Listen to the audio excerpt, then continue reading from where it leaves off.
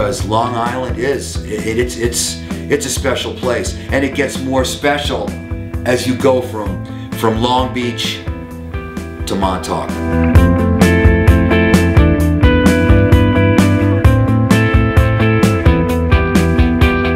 When home is good, it's I don't really want to be anywhere else.